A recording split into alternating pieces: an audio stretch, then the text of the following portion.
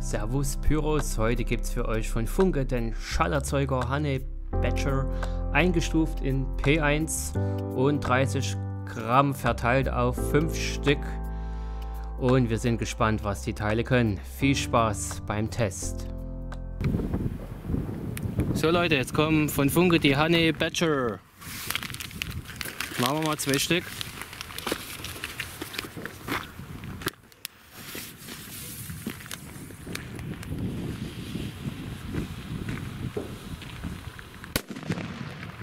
Alter, geil. Einer noch.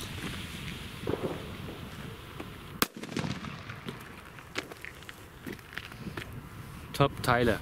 Kaufempfehlung. Richtig geil. Jo, also kann ich nur empfehlen, diese starken Teile.